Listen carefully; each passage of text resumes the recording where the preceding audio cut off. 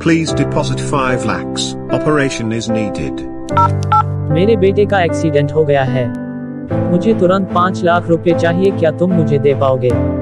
नहीं इतने तो मेरे पास भी नहीं होंगे। ऐसी परिस्थिति में कभी आप भी हो सकते हैं।